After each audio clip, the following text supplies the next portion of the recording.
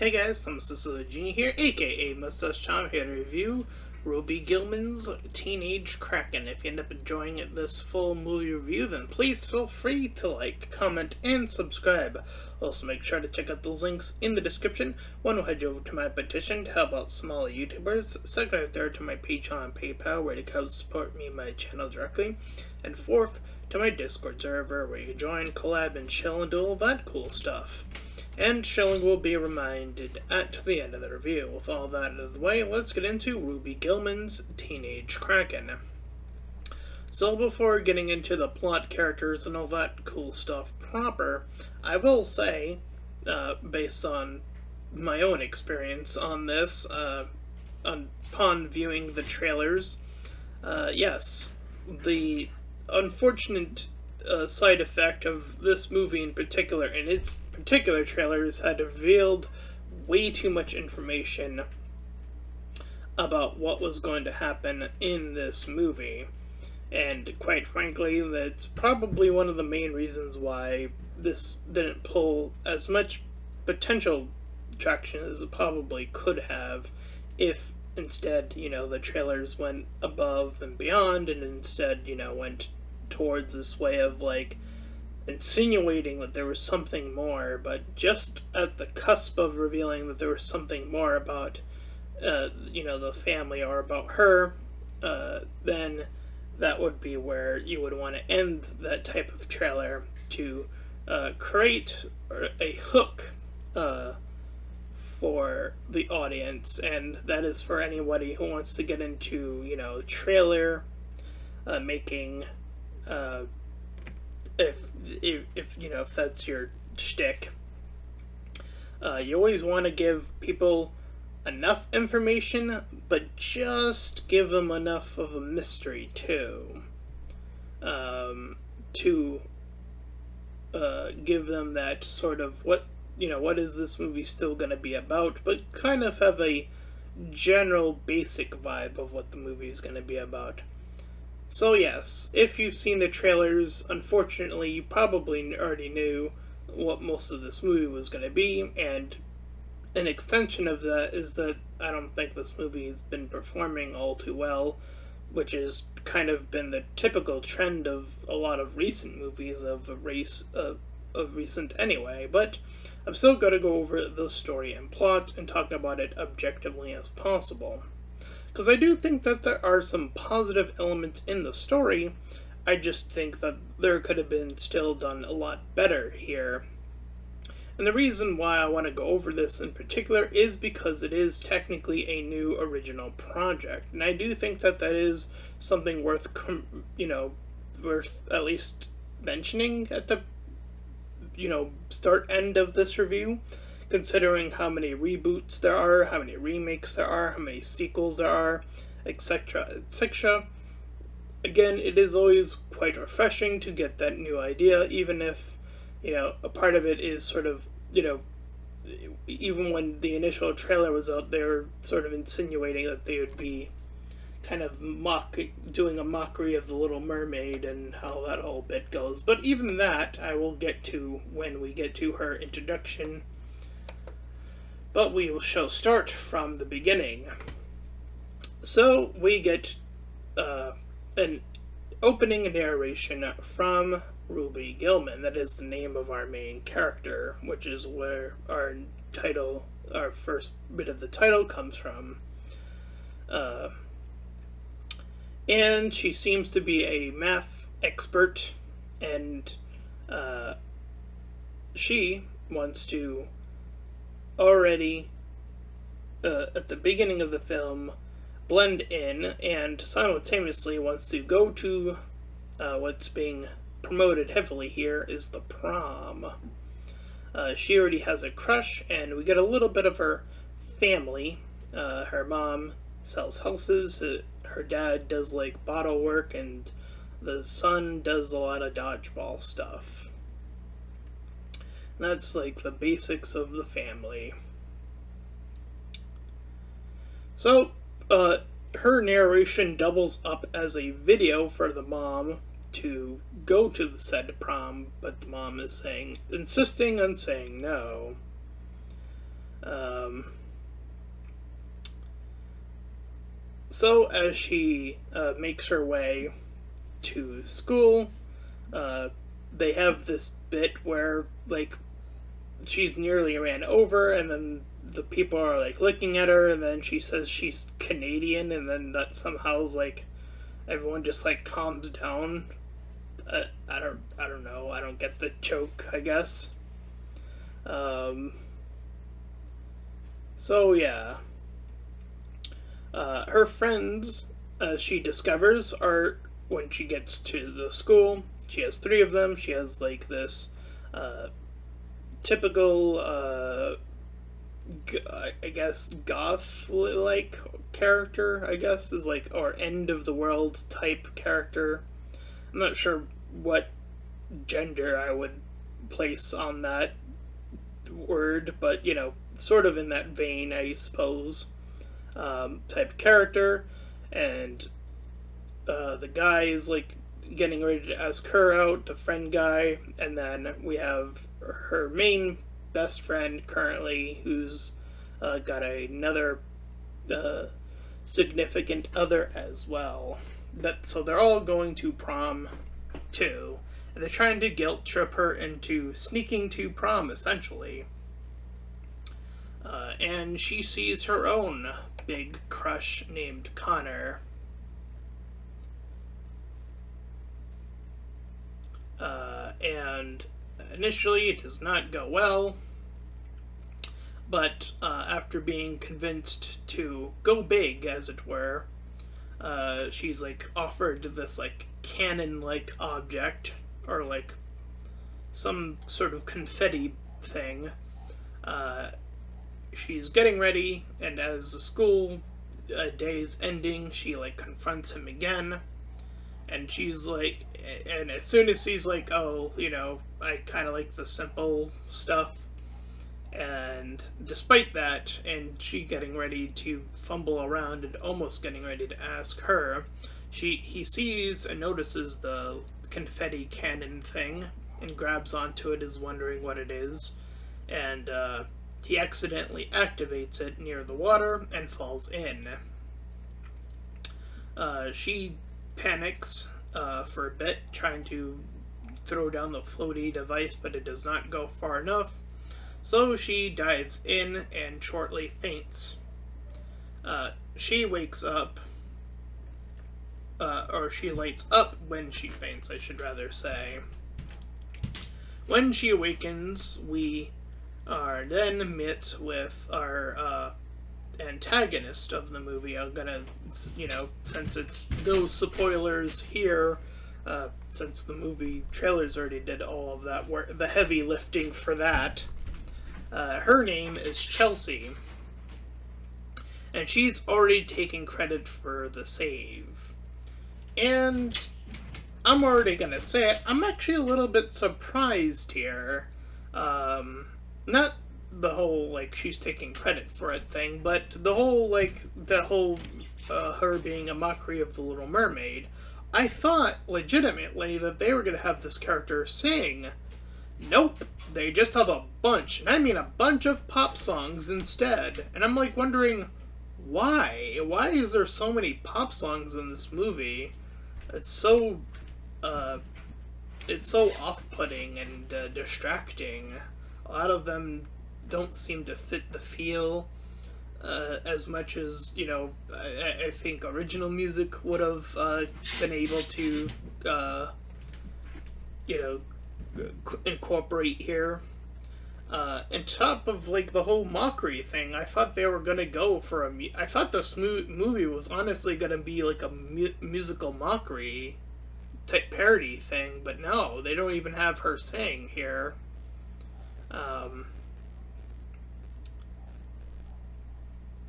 however, uh, when she uh, confronts uh, Ruby, that being Chelsea, uh, she seems to be genuinely concerned, and this to me is very off putting by the end of the film. Because I'm going to say it now, uh, spoiler, I guess not spoiler alert, but you know what I mean.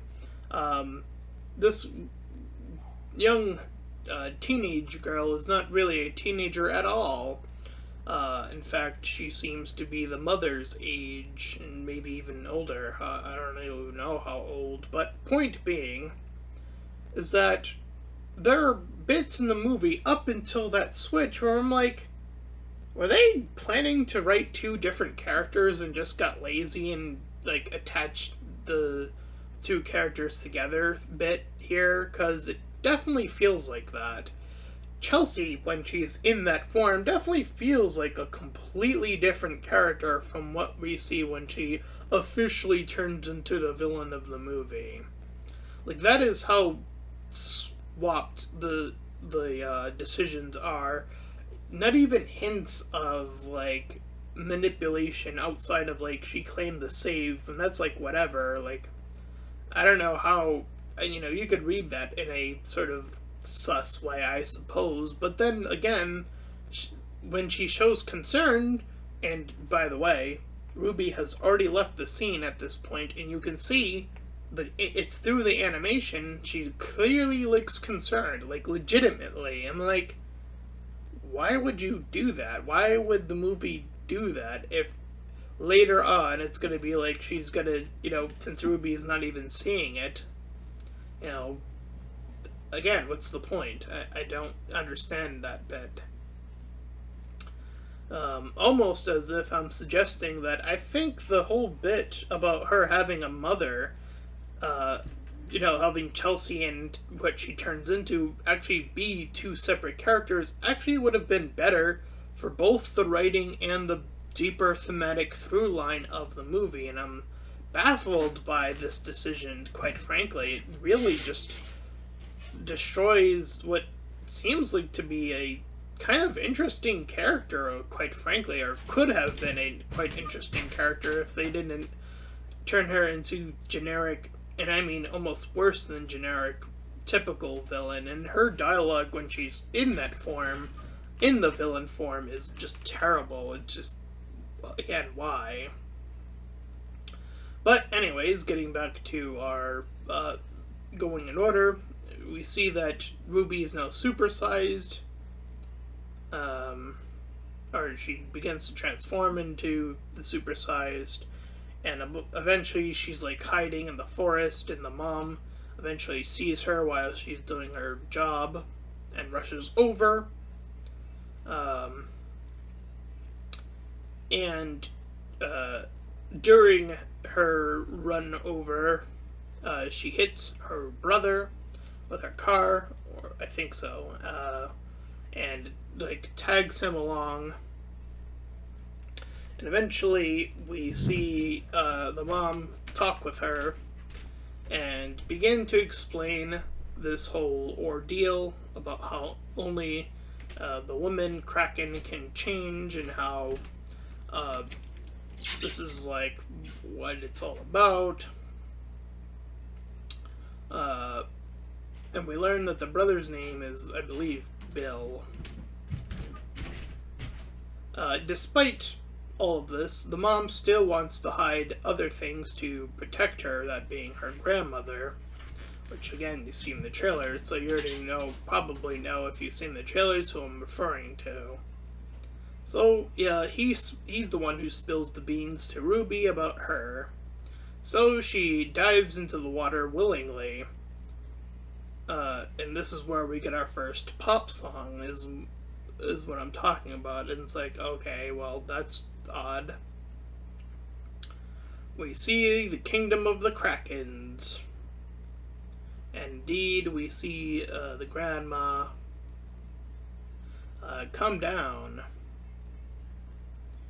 and uh, talk about how the mom was the previous uh, warrior and how she gave up that life to when she gave, you know, had probably was around near pregnancy or whatever. Uh, but says the Kraken will always answer the call. Um, so yeah. Uh, she's makes her way up and she uh, is revealed to only Chelsea at this point who also reveals that she is a mermaid at this point and reveals her mermaid form too uh, to Ruby. Not to mention that she also saves her. So again, it's keeping inconsistency until it becomes inconsistent when she completely flips and does the 180. But despite all of this, Ruby still calls it off, uh, like being all freaked out and stuff because all of this stuff is still overwhelming.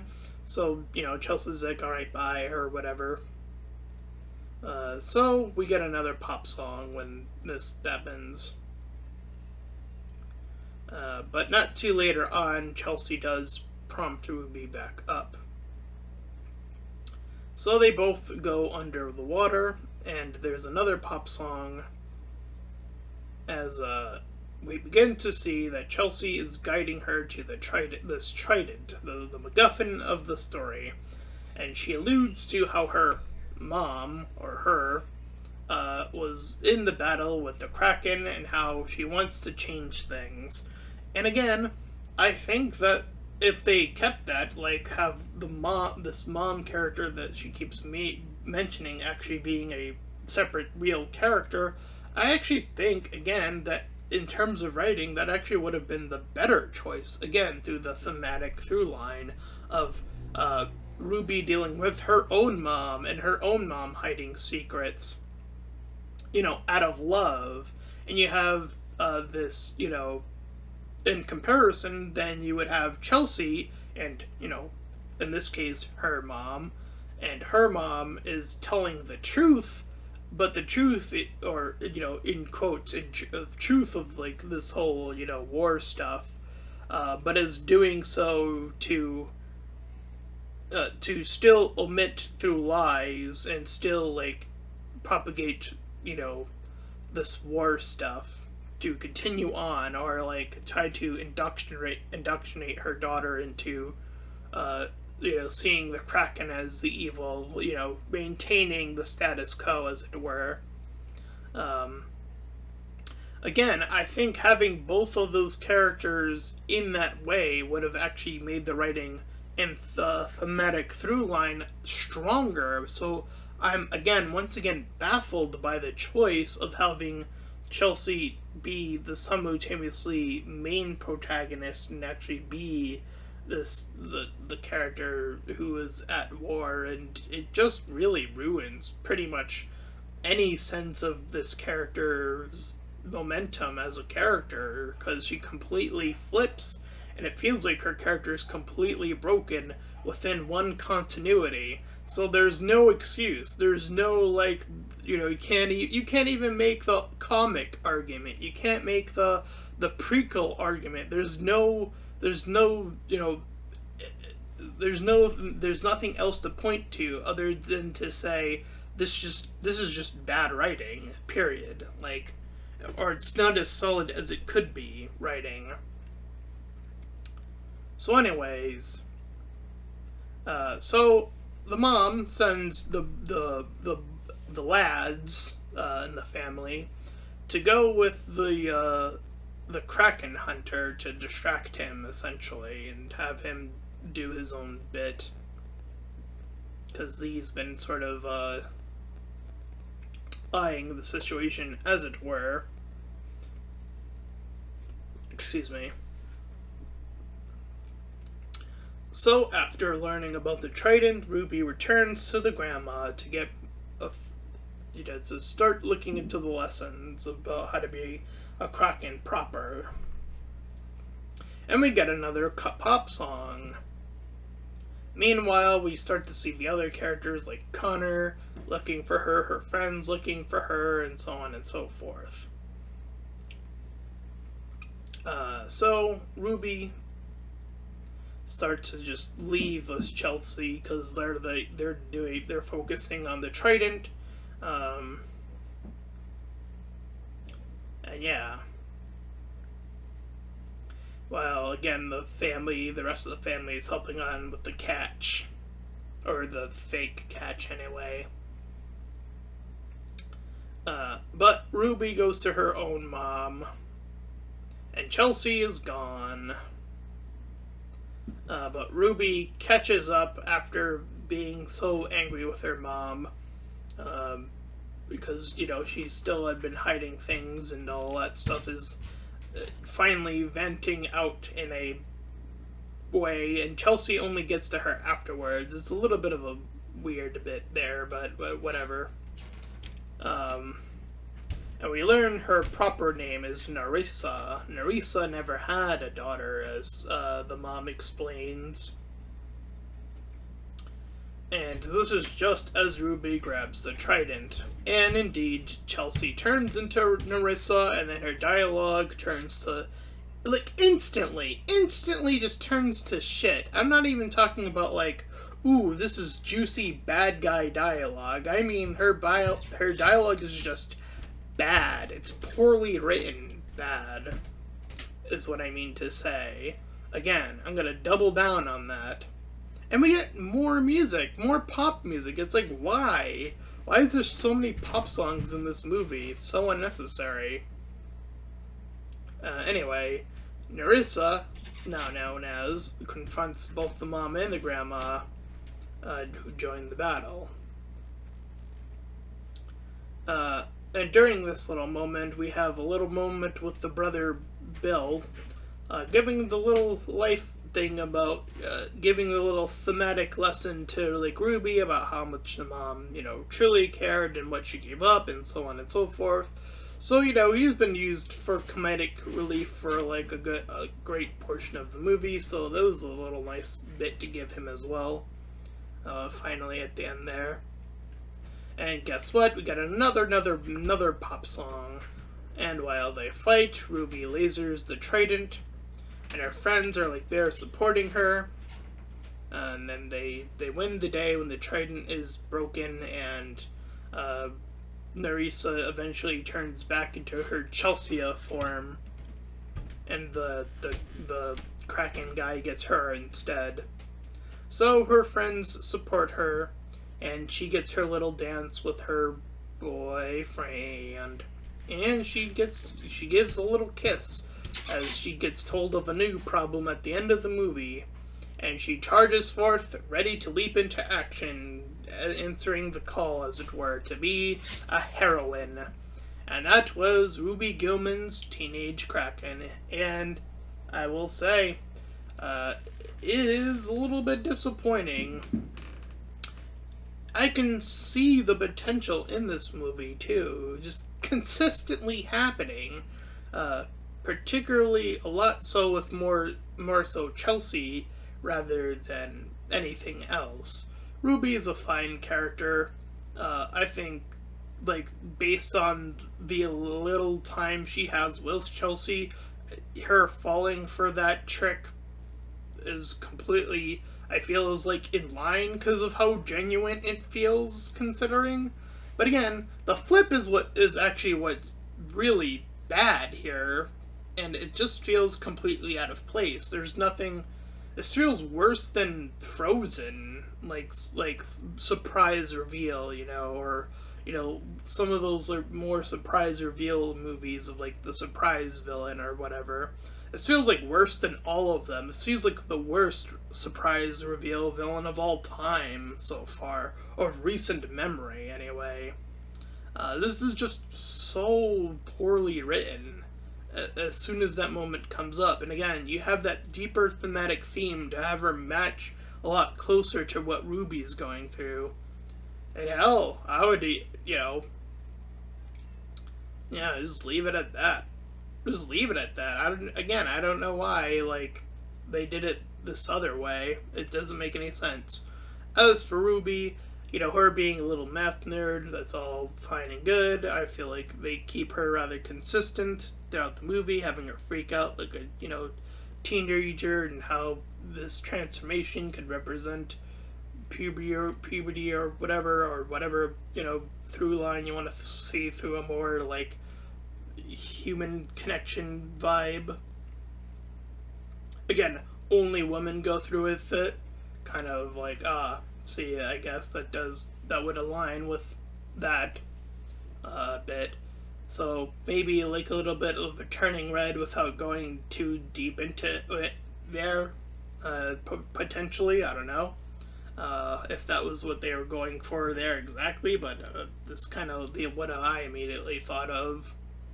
Uh, but other than that, I will say uh, the other characters were kind of just there. The, they, they have little bits are just like, eh, you know, they're just there uh, to sort of either goat Ruby into like going to this prom or whatever. And again, I feel like since Chelsea is so almost at the cusp of being such an interesting character in line with Ruby, I feel like again that's what really tears about a, the majority of the movie since their confrontation uh, or what could have been a much more interesting friendship uh, could have been aligned through this movie and then it and then it wasn't because they chose the worst thing to do which is to have her be the same character as Nerissa which again I'm gonna triple down and say that should have been two separate characters but here we are.